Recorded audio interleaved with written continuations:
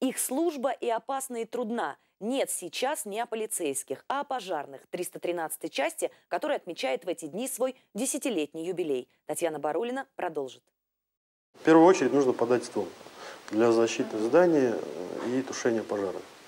А дальше все идет уже...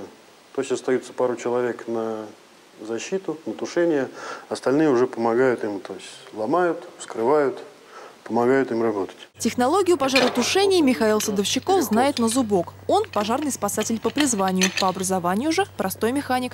После техникуму пришел работать в Высоковскую пожарную часть и за 8 лет дослужился до начальника смены. На дежурство Михаил заступает в 8 утра. Первым делом осматривает машины.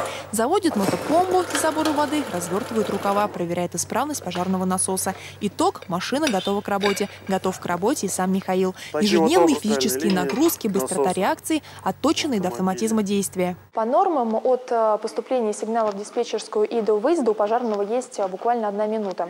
А, в это время водитель заводит машину, а пожарные должны одеть э, свой боевой комплект одежды. А, всего по нормам он должен успеть это сделать за 24 секунды. Сейчас мы попробуем, ну, действительно ли это так и в какой форме наши пожарные. Ну, итак, засекаем время. Начали.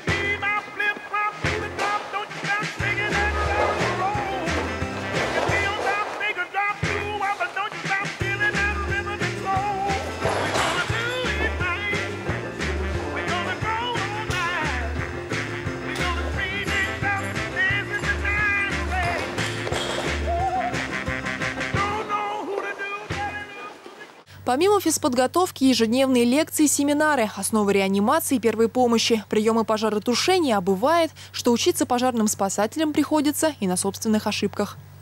Там обсуждаются ошибки, которые были допущены работниками караула, который выезжал на пожар. Угу. И с целью недопущения повторить, повторения этих ошибок. Угу. Это связано с тем, что пожаров у нас не так много. Поэтому каждый пожар представляет для нас ценность с практической точки зрения. Профессиональное мастерство пожарные 313 части доказывают и практически. Это прошлогодний областной конкурс «Лучшее отделение на автоцистерне». Наши спасатели показали себя на высоте. Но самая высокая оценка их работы – это спасенные жизни людей. Как при пожаре Казан в мае прошлого года, когда жильцов горящего дома приходилось выносить буквально на руках. Аккуратнее, пожалуйста. Ой, ой, ребеночек только.